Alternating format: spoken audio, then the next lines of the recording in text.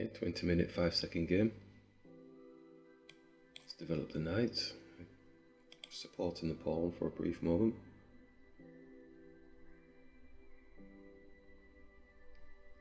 And again supporting the pawn because if the bishop takes then obviously the knight will be able to take this pawn. So don't mind doubling the pawns in this situation. Fairly comfortable with that. And let's just develop the knight as usual.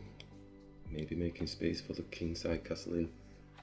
And yeah, let's just bring the bishop out. So a bit of a somber opening.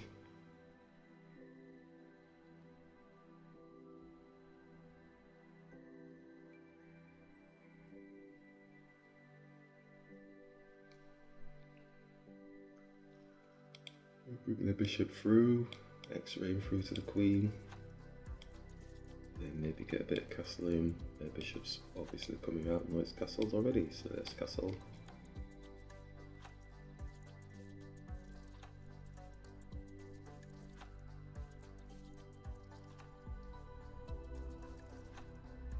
So it's not actually blocked the bishop from coming here, so they're feeling fairly confident about something.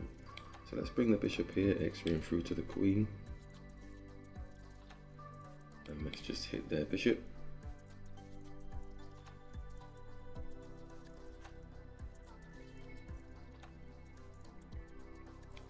Let's grab. Actually on the pawn, so this pawn is probably coming to support, opening up a bit more space around the king. Maybe touching onto the rook a little bit.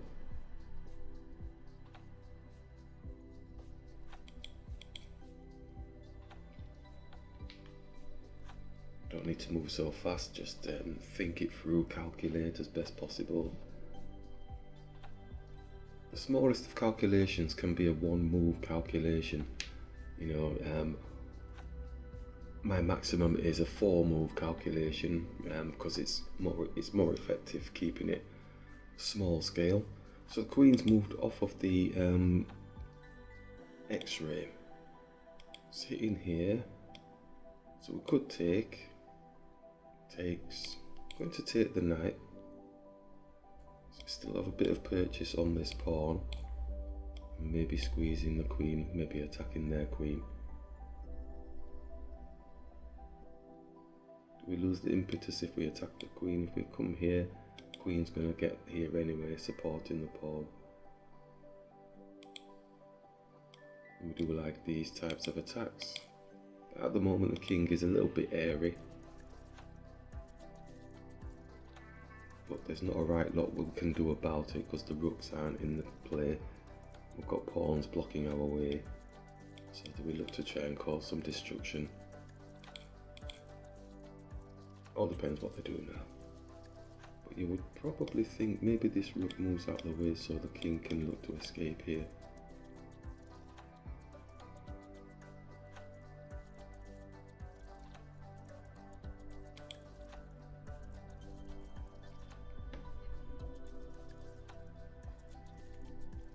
My cal calculation for now because he can go over the board and then when they do make a move instantly making the wrong move. So I don't want to overthink the situation. That's part of learning how to be a, a nice pleasant casual player for yourself and enjoy the game a bit more.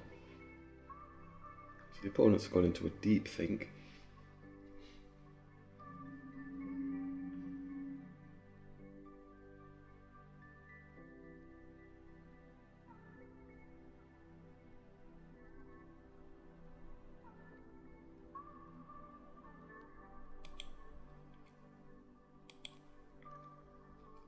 Okay, so they brought the knight back. We could still go for the exchange, but is there anything... I think I'm just going to go for the exchange. We're plus one. I don't know if it's a good thing or a bad thing, really. Hmm. Bishop's on the dark square. I'll just attack this pawn and then the queen comes down to defend. Or does the bishop just attack the queen anyway because it's on the dark square? It's like coming backwards, isn't it? Attacking the queen. Queen's already got this square. So I suppose in a way we could move the bishop here. and see if we can get that. I don't know if that works or not. Oh, but that's why he's brought the knight there probably, because the knight can just come in and block. So we come here, and the knight comes here, blocks. We still go here. So his knight's not going to jump anywhere because of that. So we will be, we be able to put the check on, but then his king can move. We could get a draw maybe. Okay, let's go with that. Attack the queen.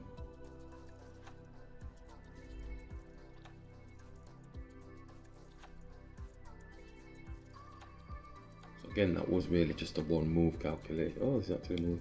So going to bring the bishop like we said, go up to this plan here. They do move, we can still put checks on and it's a draw.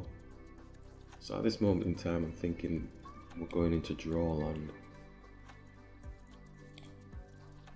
So hit.